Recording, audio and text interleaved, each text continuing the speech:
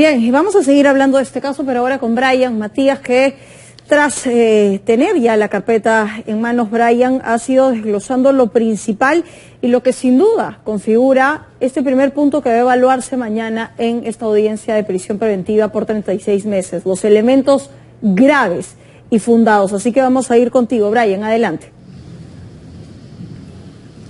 Sí, Claudia, ¿cómo estás? Buenas noches. Hemos podido leer la carpeta fiscal de más de 170 páginas y hemos encontrado en realidad datos bastante relevantes. Detalles sobre el caso de Mauricio Fernandini. En primer lugar, el Ministerio Público está sindicando al periodista Fernandini por los delitos contra la administración pública en la modalidad de colusión agravada. En este caso, como cómplice primario y por el delito contra lavado de activos y en este caso como autor.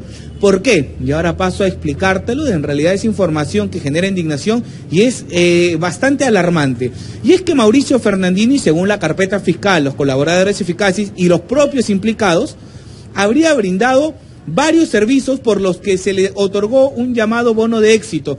Hay que recordar, Mauricio Fernandini, cuando todo estalla, señaló que solo había recibido un pago mensual de 10 mil soles, que ascendían a 60 mil soles, por el alquiler de su vivienda.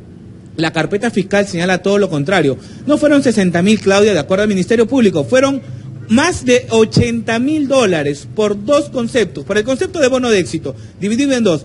Primero, porque valiéndose del cargo que tenía como conductor en RPP, coordinó y gestionó una entrevista con el entonces gerente general José Carlos Forero del Fondo Mi Vivienda para hablar de qué? Precisamente de los beneficios del Fondo Mi Vivienda y de lo que daba para techo propio. Y esto iba a beneficiar a las empresas de marca Group que le pertenecen a Sada Goray. Hemos podido acceder a parte de la entrevista. Vamos a escuchar cómo presentaba Mauricio Fernandini al señor Forero en aquella oportunidad. Adelante. Los dos queremos comprarnos una casa. Vamos al banco y obviamente obviamente nos van a pedir su recibo por honorarios. Es que no tengo, yo trabajo como mototaxista y mi esposa cuida a un niñito y no, no emite recibo por honorarios. Y así sucesivamente. Le doy la bienvenida al, al señor José Carlos Forero, gerente general del fondo Mi Vivienda. ¿No hay un divorcio entre la realidad nacional y acceder a un crédito Mi Vivienda?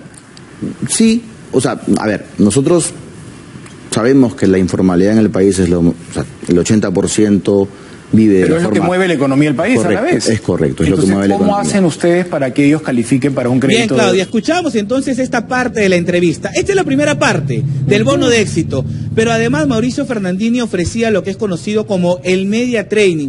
Para los televidentes que no son muy entendidos, digamos, con este término, es el servicio que se ofrece para que una persona pueda Preparar a explayarse, alguien. explicar bien, desplazarse ante proyectos y sobre todo responder ante los medios o explicar ante los medios de comunicación cualquier proyecto que se tenga. Lo irregular, o mejor dicho, ilícito aquí, es que Mauricio Fernandini le ofreció el servicio de media, media training a tres, en ese momento, directores del Fondo Mi Vivienda. Estamos hablando de Pedro Arroyo, Gonzalo Arrieta y, y- y un, el último que era Roger Lavanderas, me parece. Eran estos tres personajes que ellos habían pedido este media training, ¿por qué? Porque según la carpeta fiscal tenían cierto temor a ser abordados por medios de comunicación por toda esta ola de corrupción. Mauricio Fernandini les da este media training y el bono de éxito consistía la coordinación con la entrevista ya mencionada Prepararlos y este para. media training a estos tres personajes que al final ascendía todo esto al monto de más de 80 mil dólares calificado dentro del bono de éxito. Y la última parte de esta carpeta fiscal es la fotografía en la que se aprecia a Heiner Alvarado, en ese momento ministro de Vivienda, Preso con su cuñado tomándose esta, esta instantánea en el departamento de Mauricio Fernandini cuando hay que recordar que Mauricio Fernandini lo había negado en varias oportunidades. Eso respecto, Claudia, al caso de Mauricio Fernandini, en el caso de Sada Goray, estamos hablando que se ha revelado que no fueron 4 millones, sino casi 5 millones y medio de soles en materia de corrupción y 21 mil dólares que se dieron.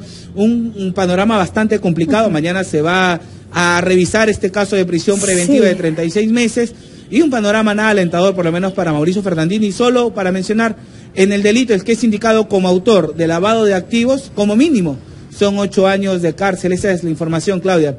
que tenemos a esta hora de la noche. Así es, ¿no? Eh, recordar los elementos de la preventiva, los elementos graves y fundados que tú has mencionado hoy, la prognosis de la pena, eso quiere decir que el delito sea superior a cuatro años. Y lo último, y que ya se evalúa y que está dentro de esta carpeta también, el peligro procesal. Gracias a Brian Matías, la audiencia es mañana a las 4 de la tarde y vamos a estar atentos. Eh, Para cinco personas, no solo para la señora Goray y para Mauricio Fernandini, uno de ellos el ex esposo que a esta hora